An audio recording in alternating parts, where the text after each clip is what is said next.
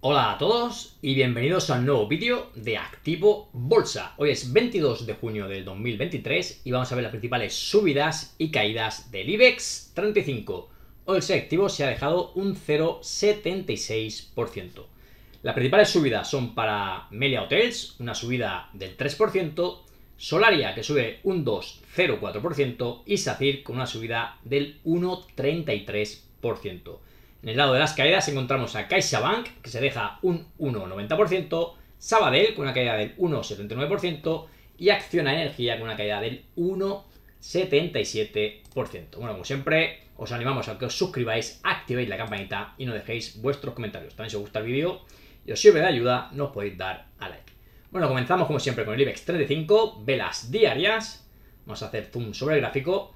Y aquí ya veníamos comentando en el muy corto plazo, zona de resistencia, tenemos aquí marcada en amarillo, es toda esta franja aquí, zona de, de los 9.540 puntos y primera zona de soporte en la zona de los 9.300 puntos. Pues bien, hoy como podéis ver aquí en el gráfico nos ha dejado una vela martillo, una vela con mucha mecha inferior y además apoyándose en esta zona de soporte, cosa que es positiva y de la que nosotros pensamos que por lo menos en el corto plazo podríamos tener cierto rebote. Eso sí, como siempre comentamos, aunque estas velas suelen ser potentes, al igual que comentábamos aquí en esta vela de aquí, precisamente se formaba justamente en esta zona también de soporte y nos trajo el rebote.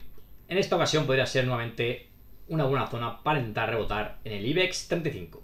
En el caso de que no acabase rebotando, para ello lógicamente debería cerrar este hueco que nos dejaba precisamente hoy y, no, y volver a intentar atacar esta zona de los 9.540 puntos. Los soportes tendrían en esta zona de los 9.200 puntos, luego la zona de los 9.019, donde pasa la media móvil 200, luego ya los 8.900, que como comentamos era esta directriz bajista que tenemos marcado en negro.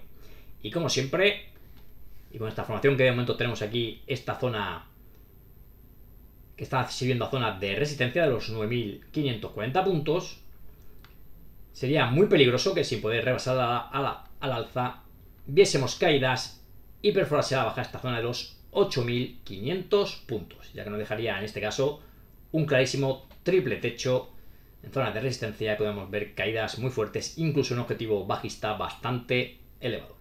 Bueno, vamos a ver las acciones que más han subido en el día de hoy. Empezamos con Melia Hotels, ayer caía bastante y hoy ha tenido una buena subida del 3%. Y de hecho, como podéis ver en el gráfico, nos ha dejado una envolvente alcista. Esta vela por sí sola suele ser velas que luego traen, en este caso, subidas, pero como todo en análisis técnico, todo puede fallar, así que siempre hay que ser precavido.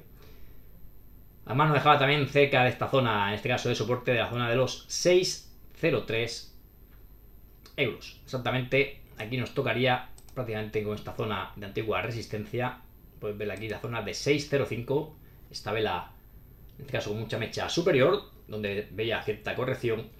Y ahora en este apoyo, como podéis ver, nos ha dejado esta envolvente alcista. Así que acción que nosotros consideramos que podría tener bueno, un rebote a corto plazo y que a ver si es capaz de superar esta zona de resistencia, exactamente la zona de 6.05, podría ir finalmente a cumplir este objetivo alcista, la zona de los 6,73, siempre con permiso de esta zona de resistencia de los 6,61. De momento Parece tener buen aspecto Media Hotels, por lo menos en el corto plazo, de inicio del 2023. Aquí podéis ver las fuertes subidas que tuvo.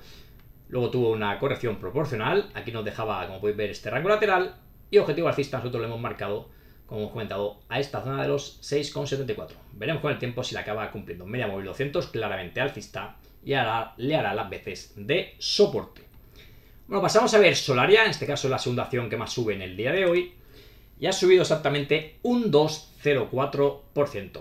Bueno, analizamos nosotros esta acción en el corto plazo, en este caso sería desde enero del 23, podéis ver cómo no ha sido capaz en ningún momento de superar esta directriz bajista hasta hacer a pocas sesiones donde conseguía superarla al alta. Nosotros ya comentamos que sería la primera señal de que podría estar algo cambiando en esta acción, superar, como comentamos, esta directriz bajista de corto plazo. Y ya comentamos que tenía en este caso resistencia en la zona prácticamente de los 14 euros. Aquí podéis ver como de momento, pese a estar luchando esta resistencia, no la, ha no la ha superado de forma clara. Y en caso de superarla, luego tendríamos ya zona, la siguiente zona de resistencia más cercana a la zona prácticamente de los 15 euros, exactamente los 15.07. Luego ya la media móvil 200 que pasa por los 15,87. Como hemos contado, de momento en el corto plazo tiene cierta mejora, pero sí que es cierto que esta directriz bajista, obviamente, si la seguimos prolongando, cada vez estará lógicamente más bajista y en alguna ocasión podría venir a testearla como soporte para luego intentar nuevamente un rebote. De momento ya hemos comentado, en el corto plazo una pequeñita mejora, también con este hueco que nos dejaba aquí alcista. También era una mejora para este valor. Y veremos si es capaz finalmente de superar esta zona claramente de resistencia de los 14 euros. En caso contrario de que viéramos caídas, siguiente zona de soporte sería la zona de 12,46 y luego ya la, la zona de 12,08. Bueno, vamos a ver la siguiente acción que más sube en el día de hoy. En este caso es SACIR.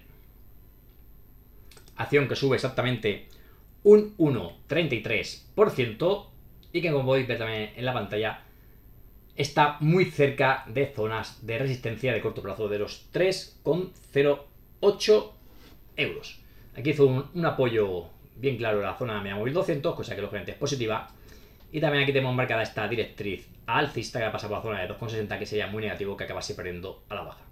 Aquí nosotros le habíamos marcado un doble suelo, objetivo alcista esta zona de los 3,91, que también veremos con el tiempo si lo acaba cumpliendo.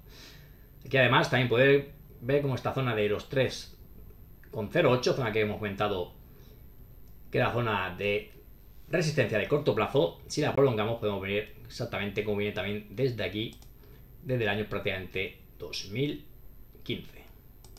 Aquí tenía la zona de resistencia, luego ya tendría zona de los 3,29 y luego ya zona de 3,87.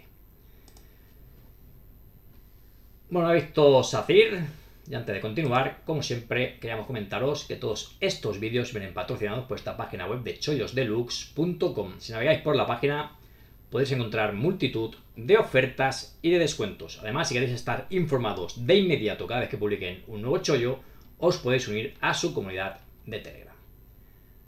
Bueno, has visto esto, pasamos a ver las tres acciones que más han caído en el día de hoy. La que más ha caído ha sido CaixaBank. En este caso se ha dejado un 1,90%. Acción que nosotros comentábamos, estaba muy fuerte, superaba esta zona de máximos históricos anteriores que marcaba en 2018, esta zona de los 3 con 49 y nos marcaba nuevos máximos históricos justamente en esta zona de los 3,92. Aunque para nosotros la resistencia clave estaría un poquito más abajo en la zona de los 3,86 y luego esta zona de 3,79 que es con la que está luchando en las últimas sesiones. De momento aquí la ha testeado dos veces, no ha podido con ella y veremos si en próximos días, en próximas sesiones consigue acabar superando esta zona de resistencia irse a dirigir a su siguiente zona de resistencia. Soportes lo marcaríamos en la zona de los 3,50, donde pasa media móvil 200, y luego ya esta zona que iría de la zona de los 3,09 hasta los 3,12, zona de soporte importante para CaixaBank. Acción que también lo viene haciendo bien, como podéis ver, tanto en el medio, corto y en el largo plazo. Bueno, vamos a ver la siguiente acción que más se ha dejado en el día de hoy. En este caso vamos a ver el Banco Sabadell. En este caso se ha dejado en el día de hoy un 1,79%. Aquí en el caso de Sabadell, que ya veníamos comentando, tiene una zona importante de soporte. Nosotros hemos marcado justamente esta zona de los 0,87, donde era esta antigua resistencia, ahora pasa a ser soporte. Aquí podéis ver claramente el apoyo prácticamente al TIC, hasta esta zona de los 0,8,89, donde nos marcaba los mínimos de marzo. Nosotros siempre hemos comentado los bancos que perder la zona de mínimos de marzo sería negativo. En este caso sí que lo perdió, aunque por poco, a la sesión siguiente lo recuperó. Y también muestra cierta mejora a superar la media móvil 200. Tiene una resistencia a la zona de 1,12. Y luego ya la zona de los máximos de marzo de este 2023 en 1,30. Como podéis ver aquí en este caso en el banco Sabadell muestra en el corto plazo menos fortaleza que en este caso que habíamos analizado CaixaBank. Aquí podéis ver el caso de CaixaBank con su zona de máximos en marzo era esta zona de 3,86 y ya la acción se encuentra muy cerca de esta zona de máximos que había marcado, como hemos contado, en marzo. Bueno, por último vamos a ver la tercera acción que más se ha dejado en el día de hoy. Vamos a ver Acciona Energía. En este caso se ha dejado exactamente un 1,77%. Bueno, aquí nosotros en Acciona Energía tenemos marcada esta directriz bajista, la media móvil 200 también claramente bajista. Luego aquí teníamos marcado toda esta zona, como podéis ver aquí, de resistencia, en este caso sería esta zona de los 31,66 y esta zona de 32,06, es decir, para nosotros zona de resistencia, zona de 31,66 hasta esta zona de 32,06. Cada pasada va a ser soporte, la acabo perdiendo a la baja y ahora le está costando, como podéis ver, volver a superar esta zona de resistencia. Nosotros para ver cierta mejora, en este caso en acción a energía, le pediríamos que superase claramente esta zona de 32,08 y luego también que superase esta directriz bajista. También si superase la media móvil 200 también sería obviamente positivo. Ahora tenemos marcado en este caso zona de soporte, la zona de 29,84, que sería peligroso perderla, ya que podríamos ver más caídas en el valor. La siguiente zona estaría muy cerquita de soporte, la zona 29,42. Y luego ya le podríamos marcar en esta zona de los 26,18, pero más importante esta zona de 25,20. De momento aquí, como podéis ver, claramente marcando máximos y mínimos decrecientes. De momento, tampoco le vemos ninguna señal de giro a Acciona Energía. Bueno, hasta aquí el resumen de hoy. Esperemos que os haya, como siempre, gustado, os sirva de ayuda. Podéis dejarme en comentarios cualquier duda que tengáis o cualquier pregunta. Como siempre, dejamos el disclaimer. Nosotros consideramos que es importante. Y como siempre, agradecer a todos los que han llegado hasta el final del vídeo por vuestra atención y hasta un próximo vídeo.